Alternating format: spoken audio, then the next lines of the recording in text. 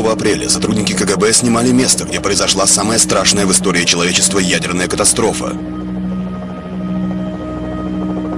Человек, снимавший для КГБ этот ныне рассекреченный фильм, получил огромную дозу радиации.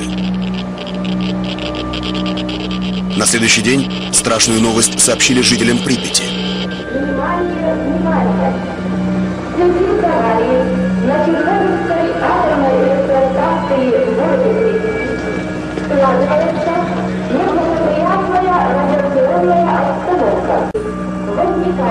Необходимость провести временную эвакуацию жителей города в близлежащие населенные пункты области. Вечером следующего дня я уже На эвакуацию всех 135 тысяч жителей уйдет целая неделя.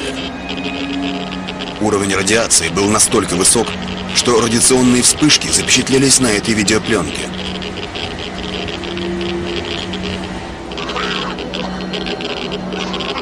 Было объявлено о создании 30-километровой зоны отчуждения. Здесь жизнь замерла. Зона похожа на современную Помпею.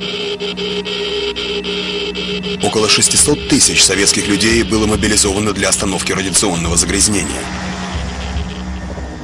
Они работали в жутких условиях, но с достойным восхищением мужеством, чтобы спасти остальной мир. Многие из них не имели даже элементарных средств индивидуальной защиты. Все, к чему они прикасались, оставляло радиационные ожоги.